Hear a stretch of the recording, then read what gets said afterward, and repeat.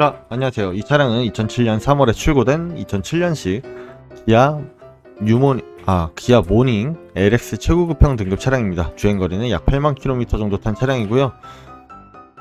주행거리 굉장히 적게 탔죠. 판매 금액은 170만원. 굉장히 저렴하게 나와 있는 차량입니다. 사고 유무 먼저 확인시켜 드릴게요.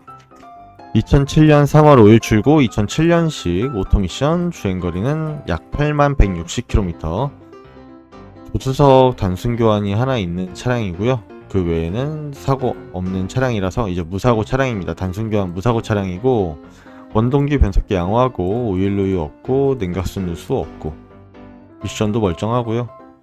등속 조인트 양호하고 다른 부분도 다 양호하다고 나와 있네요. 성능 기록부 상으로는 전부 다 양호하다고 나와 있고 조수석 앞엔 다 교환된 무사고 차량입니다. 사진도 한번 보여드릴게요. 전면 측면 사진, 후면 사진, 전면 사진, 후면 사진, 그리고 휠 4개 전부 다 양호해 보이고요. 타이어 상태는 자세히 안 보이는데 어, 많이 남아 있는 것 같아요. 엔진룸이고 네, 여기 실내 사진. 계기판상 주행거리는 8만 161km. 그 오토 미션 여기 조수석 사진이고 운전석, 뒷좌석. 진짜 깨끗하죠. 뭐 주행거리를 워낙 적게 탔다 보니까 사용감이 진짜 별로 없는 것 같아요. 너무 깨끗하고 에어컨, 뭐 트렁크까지. 네, 사진까지 한번 다 보여드렸고요.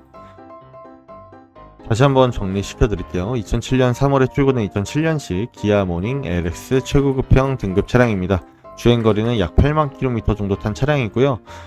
운전 연습용이나 동네 이제 마실용 뭐 그런 용도로 굉장히 좋지 않을까 싶습니다. 판매 금액은 170만 원밖에 안 하고 너무 저렴하게 나와 있죠. 차 상태도 사진 보셨다시피 너무 깨끗하고요.